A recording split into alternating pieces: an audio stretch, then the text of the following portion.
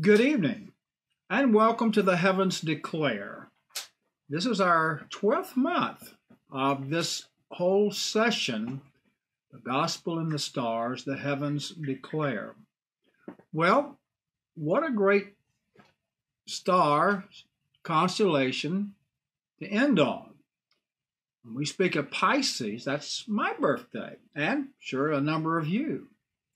The two fish, I like the thought that it's double. Double of everything, double good, double blessing, double portion. But tonight's theme is the gospel of beauty. I think of the scripture, He will beautify the meek with salvation. What is it that God is glorifying, beautifying? When I think of grace, I think of beauty. I think of glory, favor, radiance, charm, all the things that attract. I think the gospel of grace, in contrast to the Mosaic law, is the idea that you have shifted from the law of requirement with penalty to the attraction of grace. In other words, the gospel of grace is such a beautiful gift. How could anyone refuse it? It doesn't come under penalty of hellfire and damnation. It's the attraction of the Father's love to restore all humanity in the Son, bringing many sons back to glory. Let's pray. Father, we thank you for this wonderful time that we come together to share this moment. May the Holy Spirit inspire our hearts, our understanding, bringing forth wisdom and beauty into our lives that we may see through the eyes of Christ. The true beauty as heaven extends into earth through us. Transform it through our own recognition of grace, mercy, compassion, forgiveness, that you make all things new even in us and through us, reconciling all things through us to yourself, that the world begins to reflect what you created not what we've remade of it. And in such an hour as this, we really need to see the beauty of grace upon a world that's in such need of grace. In Jesus' name, amen. Thank you so much for joining us tonight for the Heavens Declare a Gospel of Beauty. Yes, I believe that the Spirit truly afresh wants to shed forth his love by the power of the Holy Spirit, especially right now. We just invite the Holy Spirit. We thank the Holy Spirit for his presence, for his quickening to all of us, even now. You know, the word says the word is forever settled in heaven. And the word also says, let the word of Christ dwell richly in you. And the word is dwelling richly. And tonight, the word will increase within us richly because God richly lavishes his love upon us. And we are a blessed people the heavens do declare, and we are a heavenly people. We are seated in Christ in heavenly places. And I just pray truly that our ears would be open to heaven, our heart would be open and receptive to heaven like never before. And we truly understand on a higher dimension that truly God desires to beautify his people. That includes you and I. God, he enjoys his faithful lovers. He adorns the humble with his beauty and he loves to give them victory. Anybody need a victory tonight? I believe that as we get beautified in the presence of the Lord, It's his pleasure to beautify his people. That is good news for all of us. I love getting beauty treatments. I want to be more and more beautiful with the presence of the Lord, with the glory of the Lord, which truly is our shield. The glory of the Lord is in um, a motion, a forward motion in our lives, because the word says the earth shall be filled with the knowledge of the glory of God as the waters cover the seas. That is saturation of grace and of truth.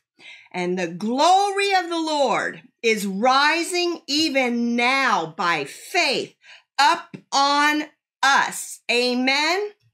Amen. Amen means so be it. Yes. Well, I've just so enjoyed understanding a little bit more of the revelation that God gave to David. And David was a man after God's own heart. And David studied the stars, the heavens, and he was united powerfully with the word. His prayers, his songs are truly divine. Well, in Psalms 19, where we've taken this series from, verses 1 through 6 show the beauty of the heavens. And we're going to look in just a minute in verses 7 through 11, which shows the beauty of the word. So let's start in Psalms chapter 19. It says the works, and that's what we're going to look at, verse 1 through 6, and the word of God to the chief musician, which is the Lord Jesus Christ, a psalm of David. The heavens are telling of the glory of God, and the expanse of heaven is declaring the work of his hands. Are you hearing what heavens are declaring. Verse 2 Day after day pours forth speech, and night after night reveals knowledge. Truly, God is wanting us to get a revelation. Verse 3 There is no speech, nor are there spoken words from the stars. Their voice is not heard yet. Verse 4 Yet their voice has gone out throughout all the earth. Their words to the end of the world. In them and in the heavens, he has made a tent or a tabernacle for the sun. Verse 5, which is as a bridegroom coming out of his chamber it rejoices as a strong man to run his course or to run his race. And we all have a race to win. It's a race of life. It's a race of victory. Verse six, the sun's rising is from one end of the heavens and its circuit to the other. And there is nothing that is hidden from his heat we see right here God's plan is seen in the stars in the study of biblical astronomy, which is called a tabernacle, a house for the sun. Hallelujah. So we see a picture, and I'm going to show you, or we're just going to read, and may it really get in our spirits. Verse 7 about the word of the Lord. This is the second section section of this psalm. Verse 7 The law of the Lord is perfect or flawless, converting or restoring and refreshing the soul. Good news. The Lord is our shepherd. We shall not want. He leads us to bring restoration to our souls. Thy statutes or testimony or witness of the Lord are reliable and trustworthy, making wise the simple. The precepts, verse 8, of the Lord are right, bringing joy to the heart or rejoicing the heart. The commandments of the Lord is pure, enlightening the eyes. May we really lock into that because I believe tonight God wants to enlighten our eyes so we have a fresh vision, a fresh understanding of the divine purposes of God, of how we fit in this, and that truly He washes us tonight in the water of the word. Yes, to purify and make holy His beautiful bride. Verse 9, the fear of the Lord or the worshiping of the Lord is clean, enduring forever. And the judgments of the Lord are true. They are righteous altogether. Verse 10, they are more desirable than gold.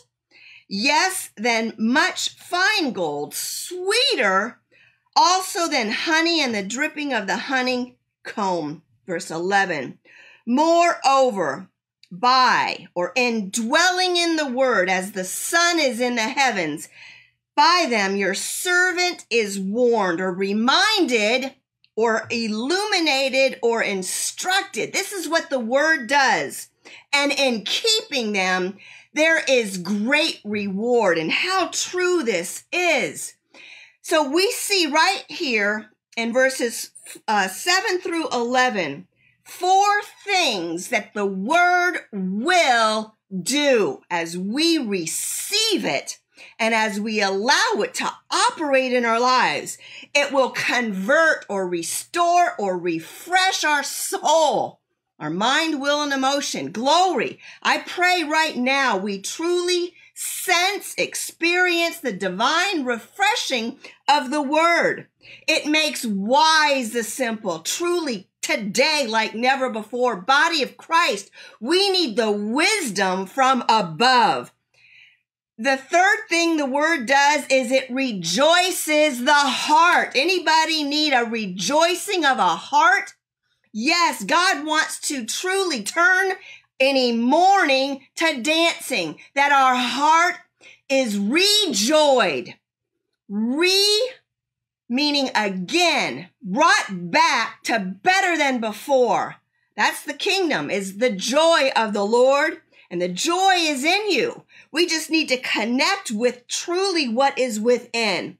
And the fourth thing the word does is it enlightens the eyes. And I know that the Spirit of God truly wants to enlighten our way so that is what the word is and does. It's a lamp to our feet. So it points us in the right direction. Hallelujah. And that direction, I believe, is truly upward. See, the pure in heart, they see God, they see love. And what we see, we be. And God is wanting us to be better than we've ever been. Yes, it's a season that we get beautified in the presence of the Lord. Truly, the gospel is a gospel of glorious beauty. I love it. Well, the signs in the zodiac are called houses of the sun because it's what he lives and moves and dwells in. And the story of the zodiac is one of our divine journey. It's declaring what the spiritual pattern is in our own lives and in Jesus, the pattern son.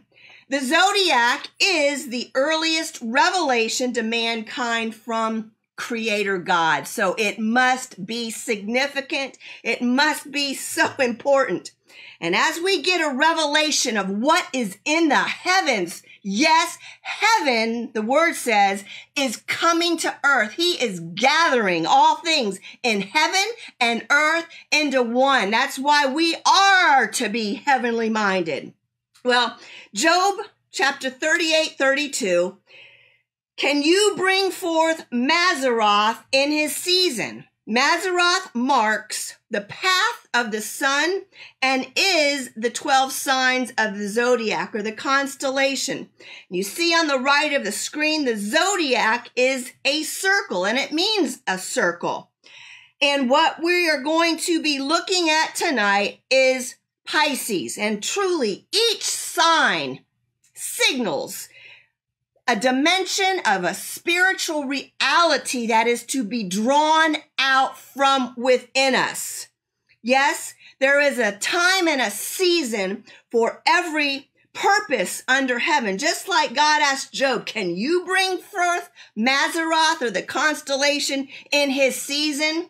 No, but God does. And God makes all things beautiful in its time and in its season for its specific purpose.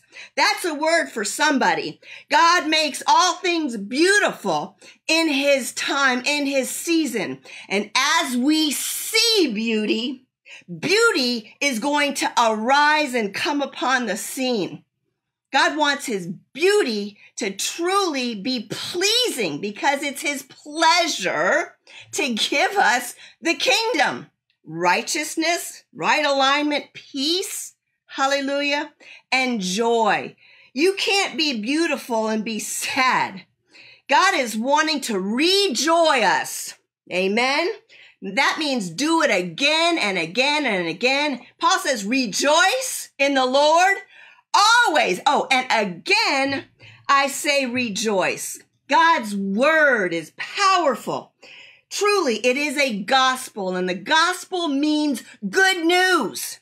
And I pray we have our ears attuned to the voice of faith, the voice of heaven. We are, we become what we look at, and we create out of our mouth our destiny. Out of the abundance of the heart, the mouth speaks. Song of, Sol- of um, Solomon said, Death and life are in the power of the tongue. So you have, yes, a miracle in your mouth as we align with heaven, as we declare righteous judgment upon ourselves. God is working out all things for my good. As we decree and declare his favor, his glory is rising. That is what we will see. You with me? Well, the heavens, the constellation houses the sun. And what is so significant is that this is the Hebrew year 5782. 82, 80 is a number, it's pay, P E Y, for mouth, speech, sound. That's why it's so important in this decade of pay what we speak. And you see the two is meaning, and you see the screen right there, is bet and it's the second Hebrew letter. Bet means house. The word picture for the letter bet is house. Why is this so important? Well, two, house. What is God wanting to build? Unless the Lord builds the house, everything else is in vain. Wisdom is building the house. God is building within his people a house who house the presence of God, the joy of the Lord, the light of the Lord. That's why this is so significant at this season that we really get on the page with the purposes of heaven and what heaven is declaring. So we see bet is the second letter of the Hebrew alphabet. Interesting, bet, another word for bet is son. Another word is daughter for bet. And you've heard of Bethel, Bet El, house of God. Yes, God is wanting to glorify, beautify his house whose house we are. And as we come into alignment and agreement with him, we're going to agree with his purposes. And you know what? We'll be a much more joyful and um, light person. yes?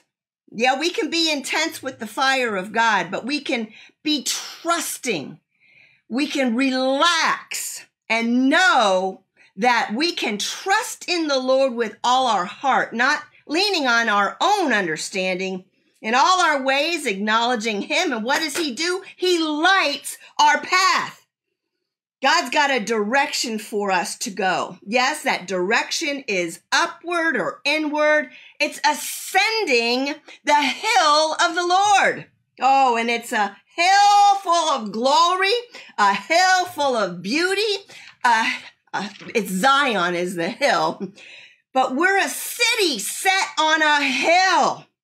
And Father is wanting his city, his house, holy, holy, whole, complete in Christ. Hallelujah. Well, in Pisces, the fishes, the two fishes, are a representation of the church, the called out, the people of God. And it's just interesting about the fishes. Christ speaks of the members of his body as born of the water. Hallelujah. And the early Christians, the sign was the ichthus, a fish. And truly, God wants us to not be fishes out of water, but to be fishes in the water, where is our natural habitation. Yes? The water of the word is where we live and move and have our being. I do love swimming in the water because it, it relates me to the refreshing and I feel like I can just swim and jump. I do backflips because I'm so full of joy in the water. And the kingdom of heaven also was said it's like the kingdom of heaven is like a net that was cast into the sea. Interesting, isn't it? That truly it was a, the heaven is like a net. So the dimension of the realm of the heaven is like a net cast into the sea and it brought all of that was full to shore. This has a message. Truly, heaven, come your kingdom be done, your will on earth as it is in heaven. Oh, you talk about a divine network the operation of the kingdom of God, the net has been thrown out. And God has a purpose, and truly, it's to draw all men to Him, to love. Hallelujah. I love the kingdom of God. It's in us. It's righteousness, it's peace, and it's joy, and it's in the Holy Spirit. Well, the next screen you see is Pisces the band. The first decan or minor constellation in the house of Pisces is the band. And you see this band, it binds the two fishes together. And there's two fish. One fish is northward, meaning it's going into a higher dimension. It's ascending. It's swimming in an upward progression. Yes, to the center where the king, the throne is. It's perpendicular, so it's speaking of triumph. Hallelujah. I love this perpendicular ascending northward, northbound fish that is in a higher dimension. But notice the band. So there's a horizontal also that is connected. We see here a picture of Christ who was on earth, who lived in the heavens, who was bringing the kingdom on earth.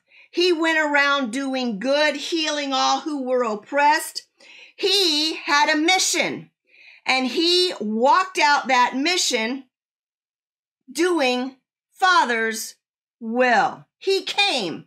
In the volume of the book, it was written of him to do the will of the Father. The pattern son, he walked in an open heaven.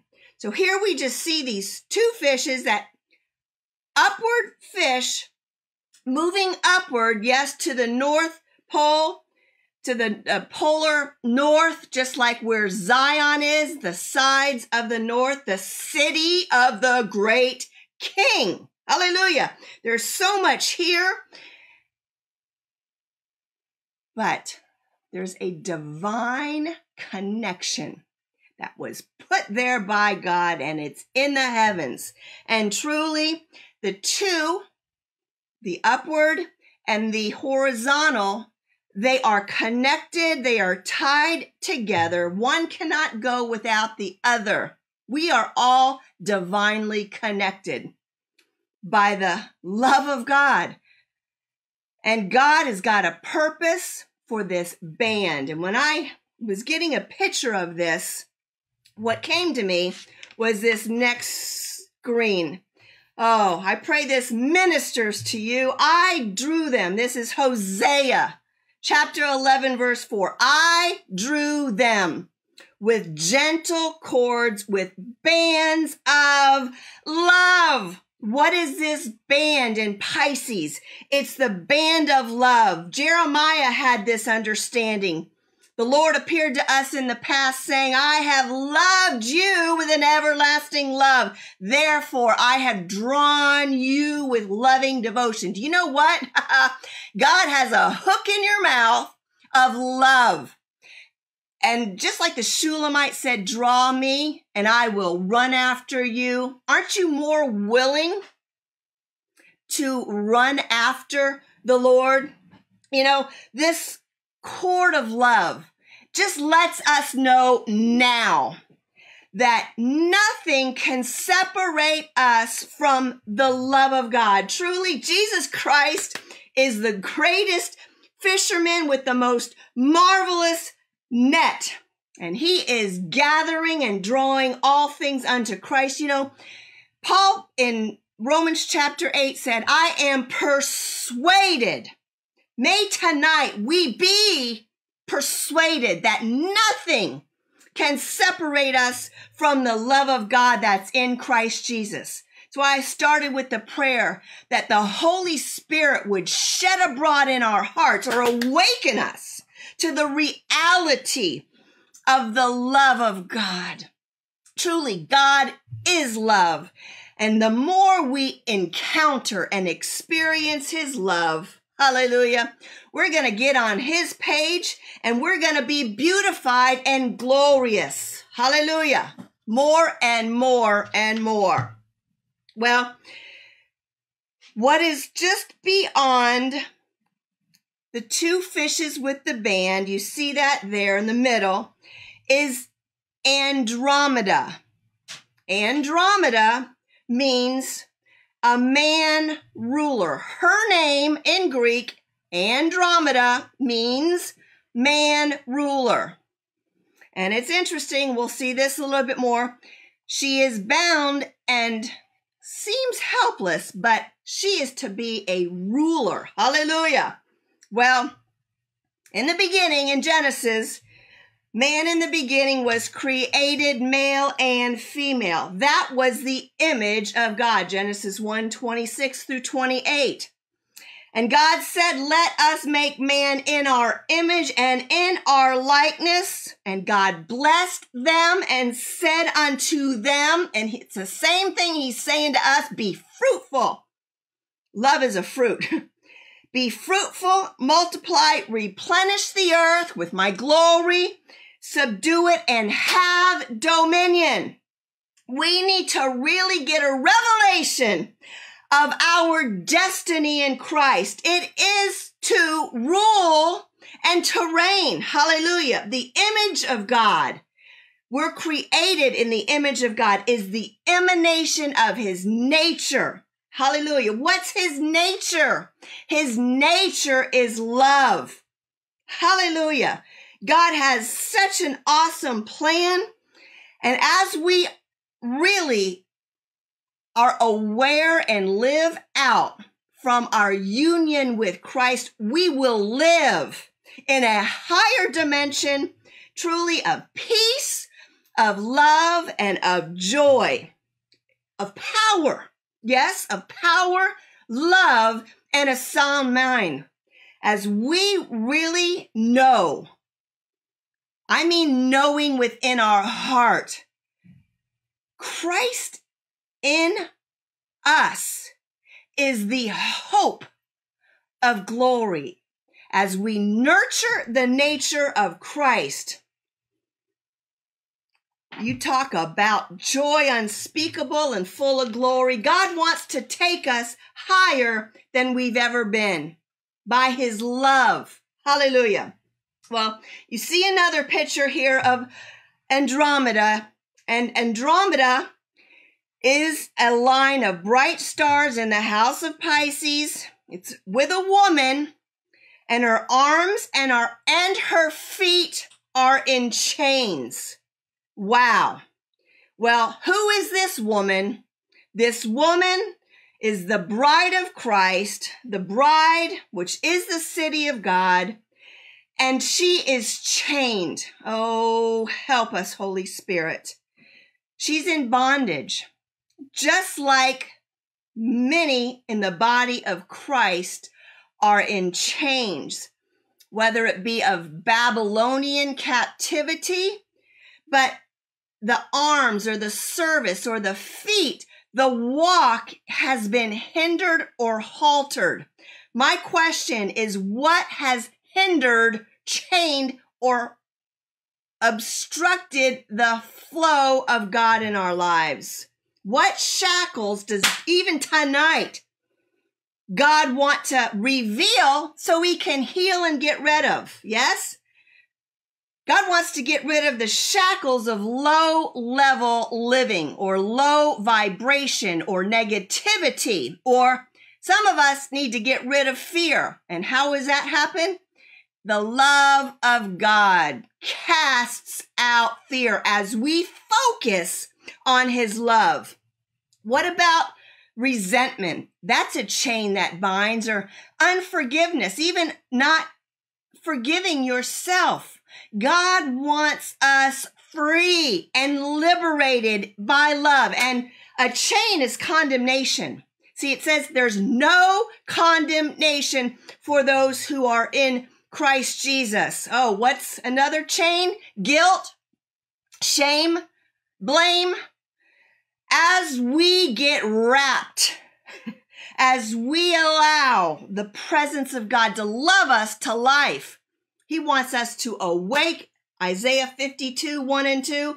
Awake, awake. Stop being in slumber and sleep. Put on your strength. Oh, Zion, this is Isaiah 52, 1 and 2. You are Zion. Know your identity as light. Put on your beautiful garments. Hallelujah. Oh, Jerusalem. Oh, captive daughter, you loose yourself. Arise and sit down. Truly, we need to awake, awake, to arise and sit down seated in Christ in heavenly places. I hope you're hearing the voice of the Spirit. He's wanting us to, in reality, experience Christ, who is our life. Because when Christ, who is our life, appears, we appear with him in glory. You talk about power Oh, God wants to free us from self interest, from substitutes, from not holding the head Christ Jesus. God is wanting an anointed company to come forth in power and victory and glory. That is why he died to bring us into truly resurrection life and power. He is jealous over us He has espoused us to one husband, Christ. We are the city of God. And you know what? Glorious things have been spoken of thee, O city of God. Wow. When we connect with what has been spoken, what is true of us, we will arise and shine and radiate the glory of God. Good news? Oh, well, beyond Andromeda is the final constellation in the house of Pisces.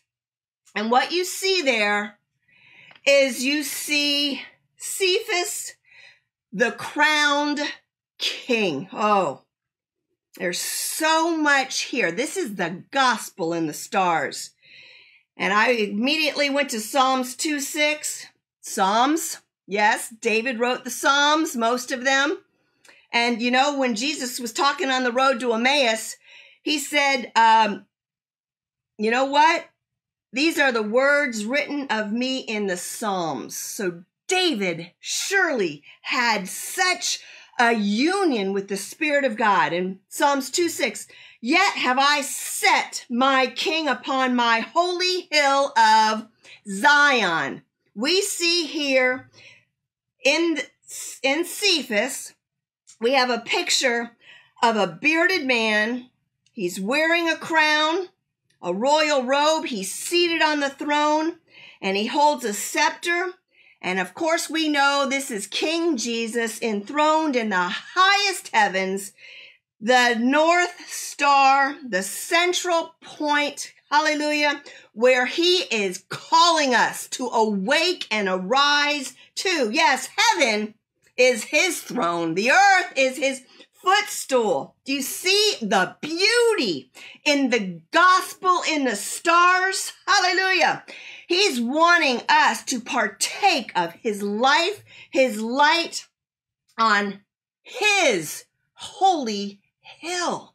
Yes, that's where we have been called. Hallelujah.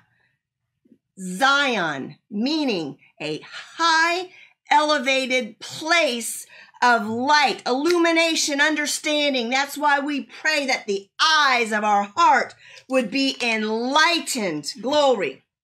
Well, more about Cepheus, the crowned king. The Greek name comes from a Hebrew word meaning branch or royal branch. Yes, he's the vine. We are the branches. And in Isaiah 4 2, it says, And the branch of the Lord will be beautiful and glorious in that day. I pray you're getting that wave of glory treatment. Truly. Well, looking at this sign, we see him with many crowns, and this is kind of right out of Revelation 19. We see him with a scepter, and it, you see the scripture verse right there Psalms 45, verse 6. This whole Psalm 45 is a song of love. David said, My heart is overwhelmed with good. It's a song of love. And I pray our hearts become overflowing with the theme of the heavens. Thy throne, O God, Psalms 45 8, is forever and ever the scepter of your kingdom. What you rule with is a right scepter. Truly, God makes all things right, or God makes all things new. Hallelujah. That includes us, a new mind, a new heart. God is wanting us to get on his program. And we see here, he's got a royal robe. Well, I believe coming from uh, Revelation 19, it's the vesture dipped in blood with the name written, the Word of God, meaning he is in innocence, he's full of life. That's his royal robe. Hallelujah. You see this awesome, and we see him with a beard. beard speaks of, yes, a maturity, but we also see in Psalms 133 Behold, how good and pleasant it is for brethren to de- dwell together in unity. It's like anointing that ran down upon the beard. You see the beard, even Aaron's beard. Aaron, his name means light, that went down to the skirts as the dew of Hermon, as a dew that descended upon Mount Zion. Dew is speaking of the anointing of the Holy Spirit. And it's there that the Lord commands blessing, even life forevermore. Yeah, you talk about an elevated high life. That is what God's gospel of beauty and the stars is declaring. I pray that we truly receive and allow Him to unveil in our hearts what He is saying, what His voice is communicating to us. Oh, He's, He's going to have His way, which is one new creation man till we all come to the unity of the faith, to the knowledge of the Son of God, unto a perfect man, unto the stature of fullness in Christ. God wants us to believe, to have faith of what his word is decreeing and declaring. Well, just to, a little bit more about Cepheus the king. It says in Isaiah 28, verse 5, we know he has a crown on his head. Oh, I love this scripture. In that day shall the Lord of hosts be for a crown of glory and for a diadem of beauty unto his people. What is this saying? The crown of glory, the diadem of beauty is the indwelling spirit of the Lord. God himself, love himself, love, light, fire, glory is to be our crown. Oh, royal mindset, holy mindset. He is becoming our all in all.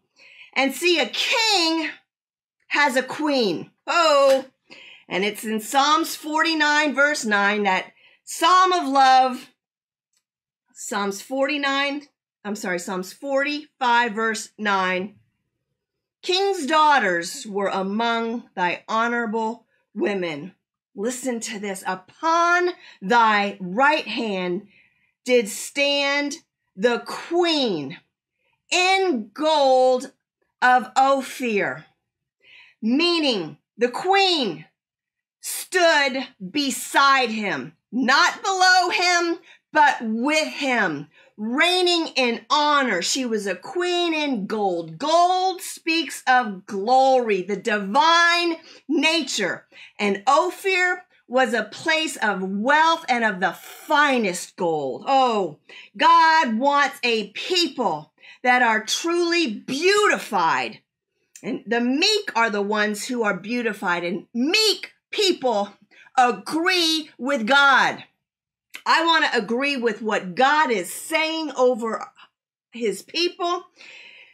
He, the king, Cepheus, is truly Lord of all, and she, the queen, rules with the king. What a beautiful picture of a rightly related relationship. Oh, beautiful. Beautiful. The gospel is truly a gospel of beauty, of grace, of glory, of dignity. And this Cepheus, the brightest star in his right shoulder, and you see it there on the screen, is Alderamin, and it means quickly returning. Yes, Lord comes quickly. And the star at the belt you see is Alpharic and it means the Redeemer. And yes, he is our Goel, our Redeemer. He is desiring that we experience a full redemption.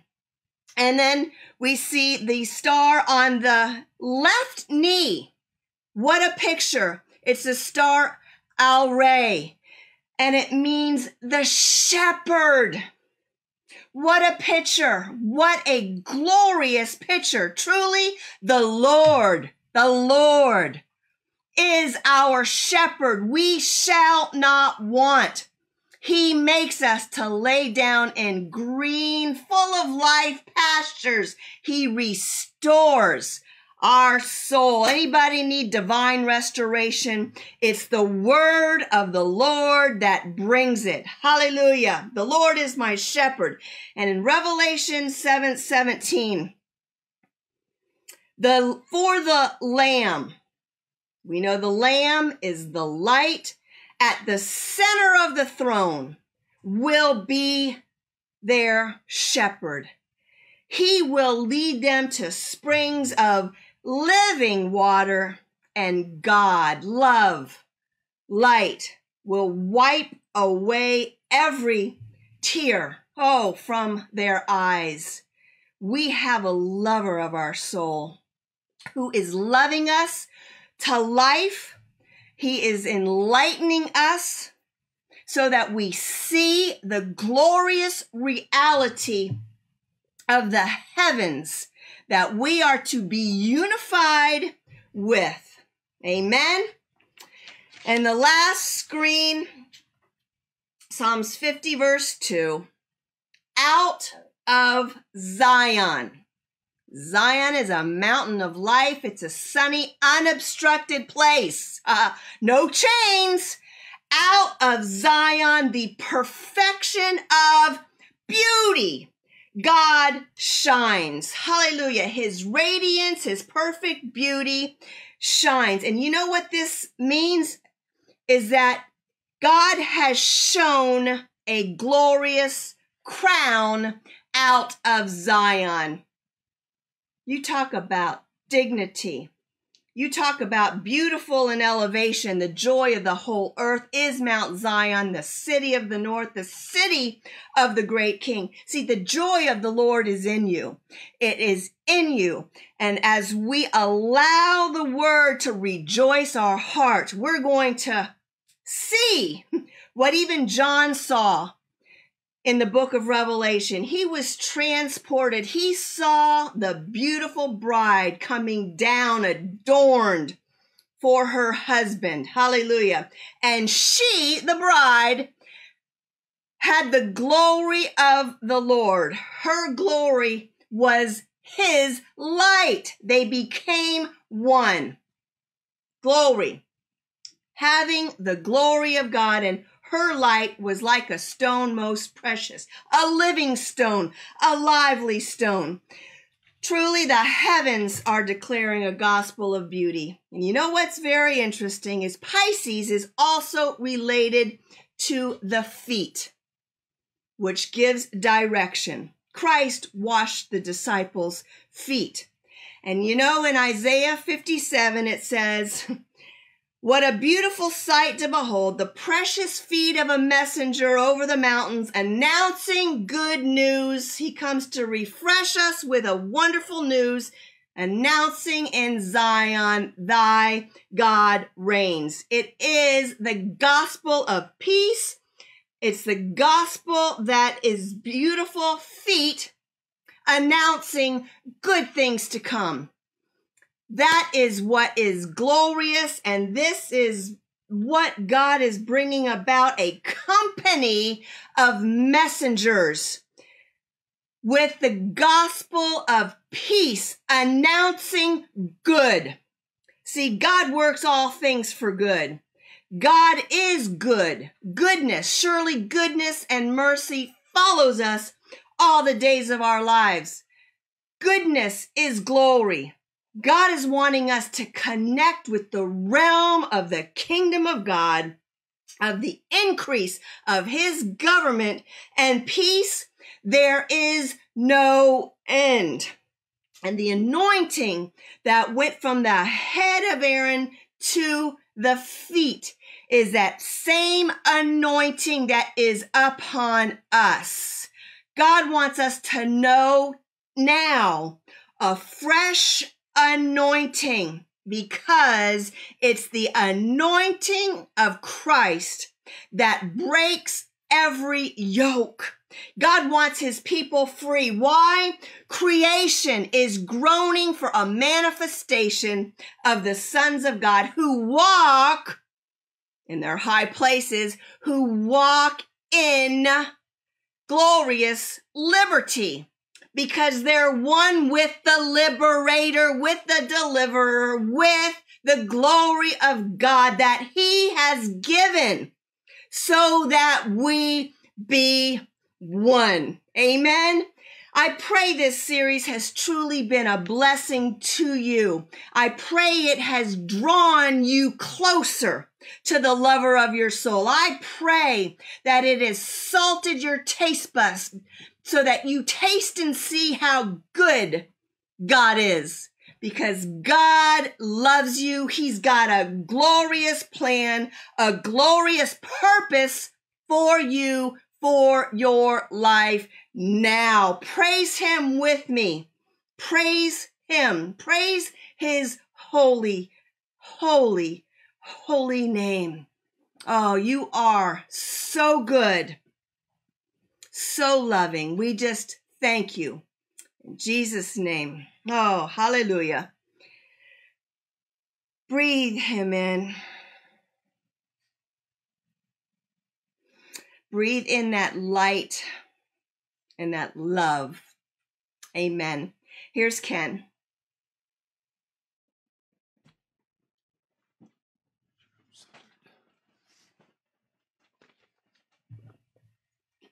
Thank you, sweetheart.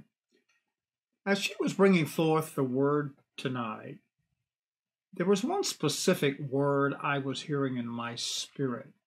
She spoke of the gospel of beauty, and I was hearing the word contrast, as if to say the gospel of contrast. And it brought to mind a familiar passage of scripture in Ecclesiastes, the writer of the preacher or the wise man Solomon. And I just printed off these verses, and I just want to review some thoughts here before we close out tonight. And the writer Solomon is expressing himself in verse 1. He says, There is an appointed time for everything, and there is a time for every event under heaven. Time is what governs our experience in this world. It is a world of contrast. Good and evil is a contrast. And in the idea of contrast, we have a sense of duality, a world that is always changing. And that means just like the rising and falling of the waves of the sea, giving birth to, dying to, everything in a state of contrast is a state of opposites. And he goes on in that passage to speak of a time to give birth, a time to die, and so forth. And he gives all these various contrasts. And it's interesting because one of the latter ones that he relates to is something that you and I are subtly facing the realization of right now. There's a time for war and a time for peace. And he's not saying, in one sense, one is good and one is evil. It's just simply contrast. Contrast means we live in a changing world. Nothing stays the same in this world. That's the world we live in. That's the backdrop of the world we live in. If you follow the news media, for example, we're always looking to see the contrast. What's the latest news, the latest development? What's the latest contrast or conflict? What has so radically and suddenly changed that just simply jars our senses from our comfort zone? Oftentimes we like things to stay the way they are. We don't want things to change. We don't want to be disruptive. We want to follow our routine. But you know, we don't really have a choice in that matter because we are not alone. We live in a world that is people populated by every descript of humanity nations, tribes, tongues, all in a state of constant change, contrast, and conflict. But then he comes down to a verse 11. He has made everything appropriate or beautiful in its time. He has also set eternity in their heart, yet so that man will not find out the work which God has done from the beginning even to the end. Interesting, isn't it? He has set eternity or immortality in the heart. The heart is the seat of desire. What it seems to indicate, even though there are many different concepts, translations, thoughts on this passage, the idea is that there is within our heart the desire to live eternally, to pursue eternity or immortality, or a sense of curiosity or fascination. Do we have an endless future? Or does life just suddenly end and that's it? He set eternity in our hearts as though something to pursue and to seek after, yet in a world of time or contrast for eternity is not evident in our world. And yet, so that man will not find out the work which God has done from beginning even to the end. In other words, we cannot discover the full breadth, height, length, width of creation in this world.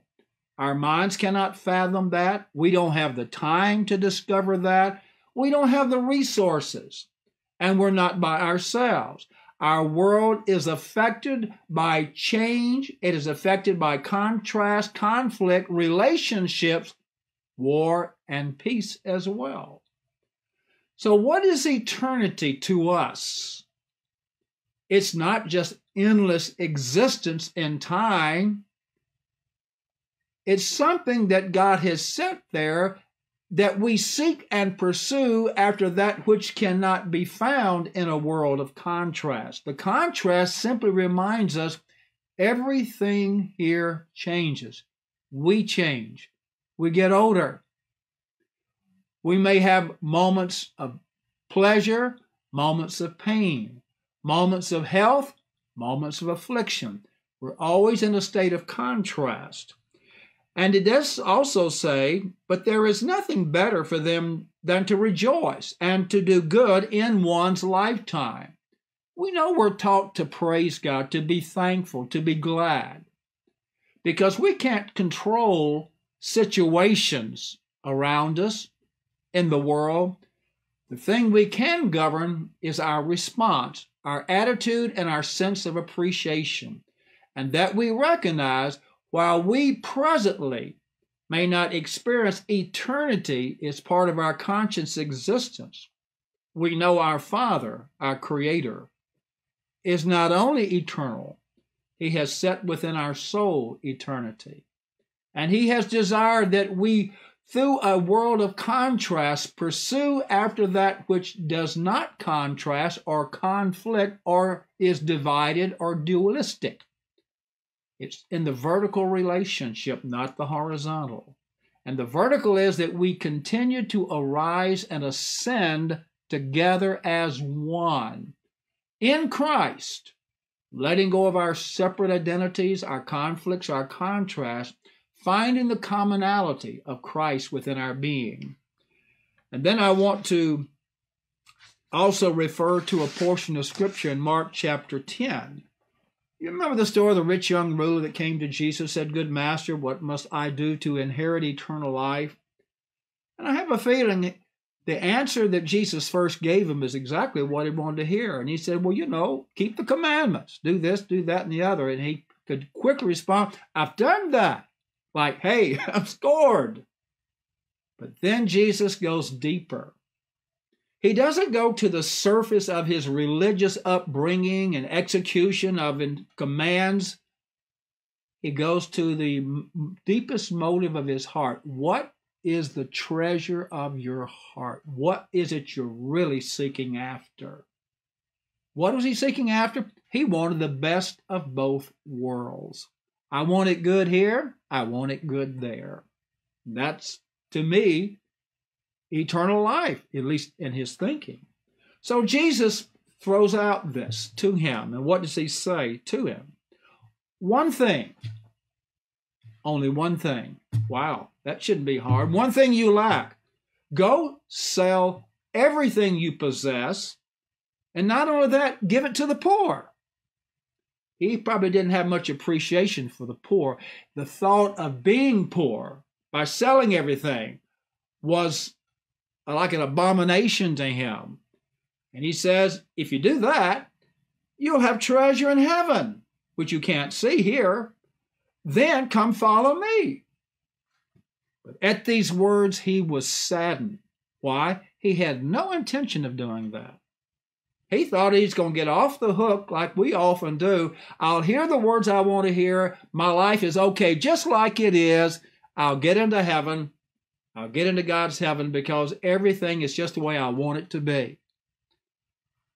He went away grieving, sad, because he owned much property. He worked, maybe inherited, it doesn't matter. But in a world of contrast, he is among the minorities, among the elite, just as in our world today. He's among the few who seem to have it all. And so he looked around to his disciples who had watched and heard that whole scenario. And he said to his disciples, How hard it will be for those who are wealthy to enter the kingdom of God. The disciples were amazed at his words, but he answered again and said, Children, this time not just the wealthy, how hard it is to enter the kingdom of God. Remember what I believe the apostles said, or perhaps it was also Jesus who said, through many tribulations, I know it was actually Paul, we enter the kingdom of God. Through many conflicts, trials, and contrasts, we enter the kingdom of God. Why? Because the kingdom of God is nothing like the world out here. It's nothing like our life here on earth. It has nothing to do with our separate existence. It has to do with our joint participation in Christ as one Son and one body, which is not visible here. It is in radical contrast to our separate personal life here. And yet Jesus said to seek it and to pursue it. It's within you, it's not out here.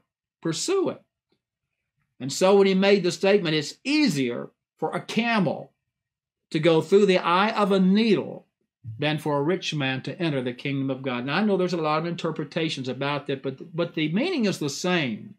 It is impossible, or actually easier, for a camel to go through the eye of a needle than for a rich man to enter the kingdom of God. He didn't say it's impossible. It's just easier. Why?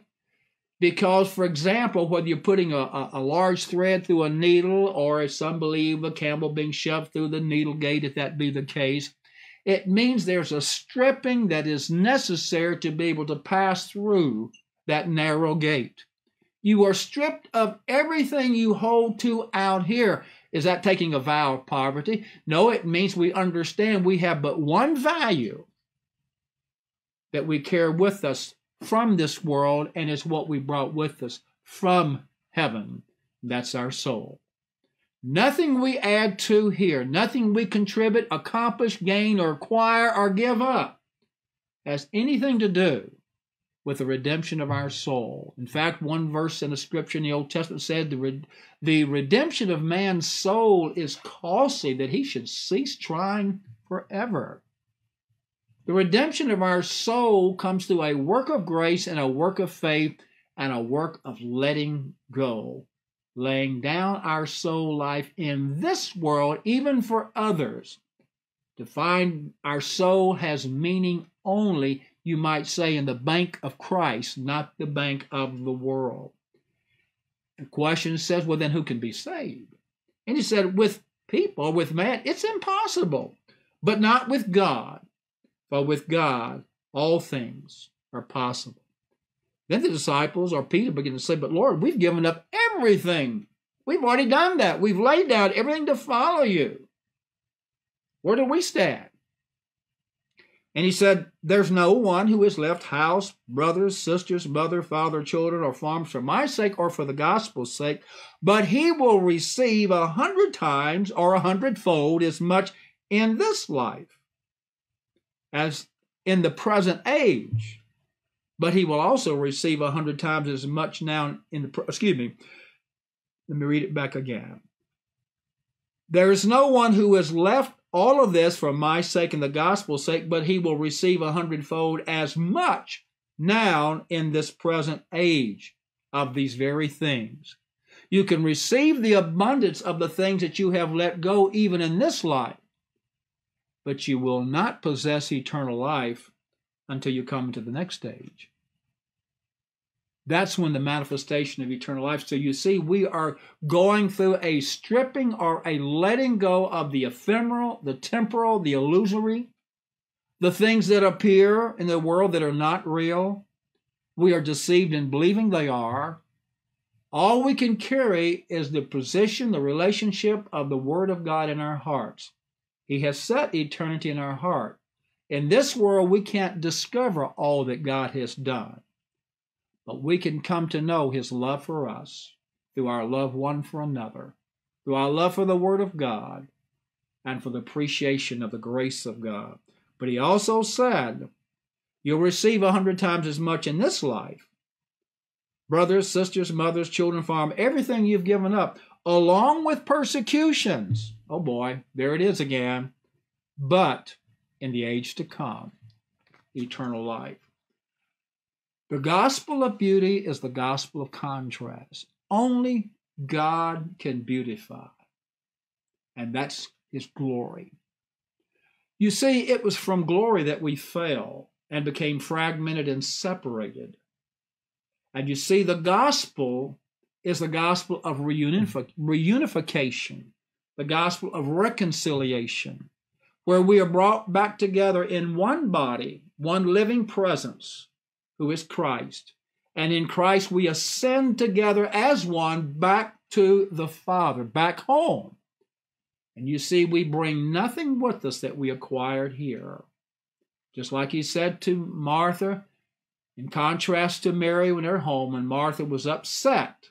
She was doing so much to prepare a wonderful meal for Jesus, and her sister could care less. She would rather sit and listen to Jesus as if that wasn't as important.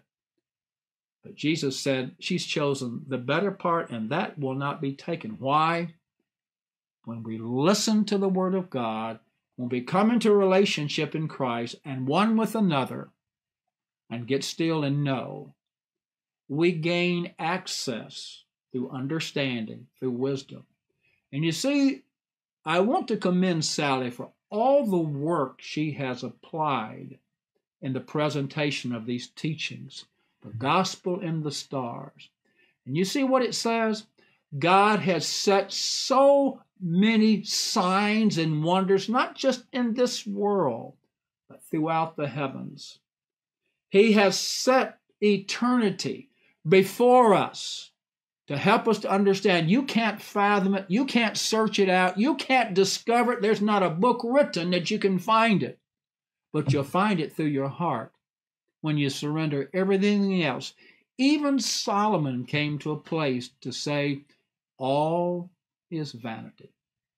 He had the resources of the elite, of the total wealthy person that could touch, taste, handle, pursue, have an appetite for anything he wanted, from one end to the extreme. And he came to realize it's all vanity. Better is the person who has little but he lives and enjoys his family, his work. He appreciates the simple things of life. And I just say this in closing we want to keep a proper focus. We want to keep a proper understanding that eternity is not here, and nothing out here is going to contribute to it. It is set in our heart to seek because that's where the kingdom of God is. And the kingdom of God is found by the releasing of all other things that give a particular personal value to us in contrast to everybody else. It's what makes me different, better than, or whatever, different than anyone else. That's not the gospel.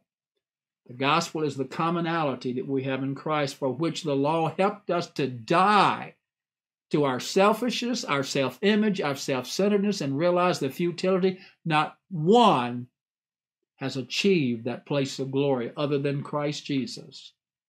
Because he didn't try to keep the law of Moses, he just did what the Father showed him. He walked in the Spirit and fulfilled the instruction and direction of the Spirit to bring you and I together to the cross, to put an end to our past, to give us a new beginning as a new creation. These are the things that are important. These are the contrast. And that contrast finally comes a realization, as Paul says in his own eulogy, so to speak, or his own recognition. The time of my departure is at hand. I have fought a good fight. I've finished my course. I've kept the faith. Hence, there is laid up for me a crown of righteousness, which the Lord will award to me and to all who have loved his appearing. That's what we're after, precious the gospel of beauty, the appearing of the Christ. May God's grace be with each one of you and with our precious brothers and sisters in the nation of Ukraine that are suffering so tremendously. There's still a time for peace. This too will have its end. Putin will have his end he will find his limit. And I'll be sharing more on that in the next newsletter coming out.